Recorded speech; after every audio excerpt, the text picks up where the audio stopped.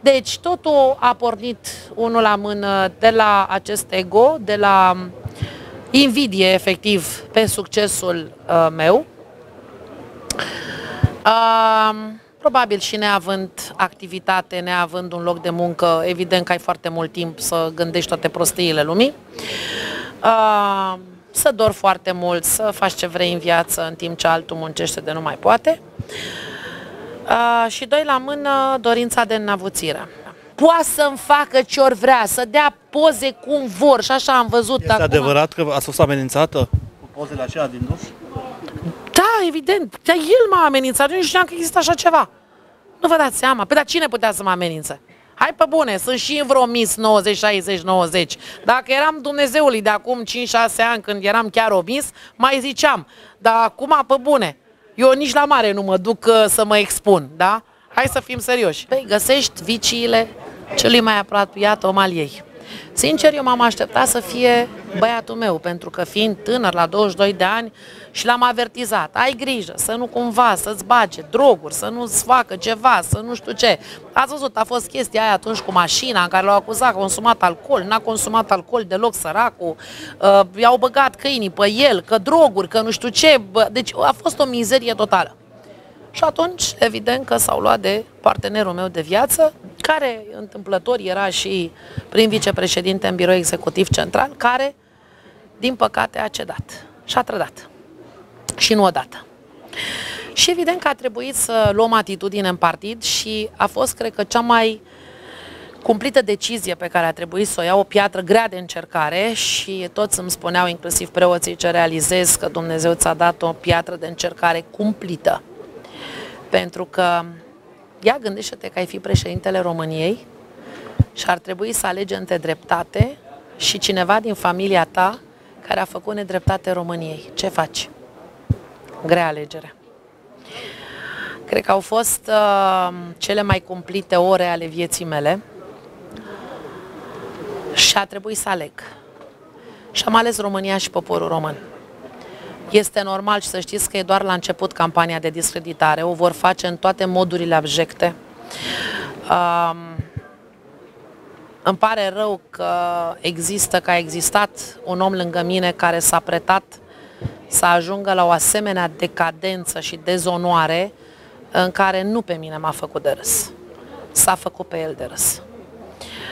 Uh, dar e bine că s-a întâmplat acum, pentru că dacă se întâmpla mai târziu, ne-ar fi făcut de râs întreaga țară în fața lumii întregi. Așa măcar e undeva pe plan intern. Diana Șoșoacă rupe tăcerea și a acordat televiziunii Europa Nova un interviu în exclusivitate despre motivele care stau în spatele excluderii din partid a soțului ei, Silvestru Șoșoacă. Diana Șoșoacă spune că veriga cea mai slabă din familia ei a fost chiar soțul ei, iar cei care au vrut să îi facă rău au știut exact unde să lovească. Diana Șoșoacă spune că a trăit șoc după șoc, Când am văzut că locurile din, uh, din partid sunt vândute efectiv ca la PSD, PNL, AUR, USR și UDMR, credeți-mă că a fost, uh, am spus zic, din momentul ăsta nu trebuie să mai aibă drept de semnătură. Și am, am suspend, l-am suspendat din funcție. Pentru că asta era calea juridică procedurală, da, corectă. Urmând ca birou executiv central, biroul din care face parte, cel care conduce partidul, uh, să se pronunțe.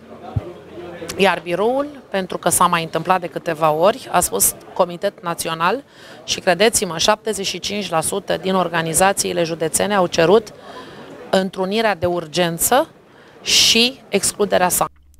Scandalurile din presă îi afectează grav familia senatoarei. Diana Șoșoacă spune că fetița ei are serioase probleme în urma acestor șocuri, iar pe acest motiv i-a deschis soțului ei un proces penal. Diana Șoșoacă vorbește și despre episoade cu violență verbală și de mai multe feluri.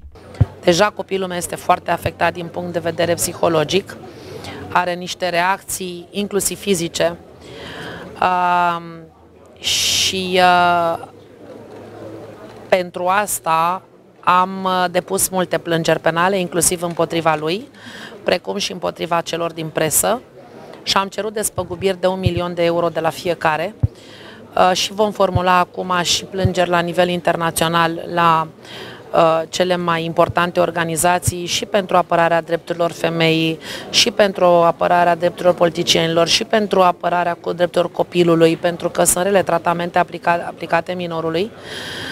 Uh, mai ales că noi am suferit și foarte multe amenințări uh, și uh, violențe verbale și de mult uh, alt tip. De cât timp credeți că ați fost vândută, ca să zic așa? A fost un lucru premeditat cu mult da. timp înainte? Da, a fost premeditat, uh, mi-am dat seama de la început, totul a mers din cauza,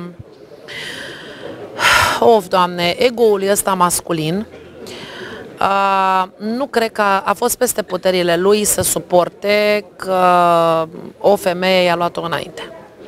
Mi s-a cerut de foarte mult timp, efectiv șantajată la propriu, să-mi dau demisia atât din partid cât și din Senatul României. Pe față? Pe față, da, mi s-a cerut foarte clar, altfel voi fi desfințată.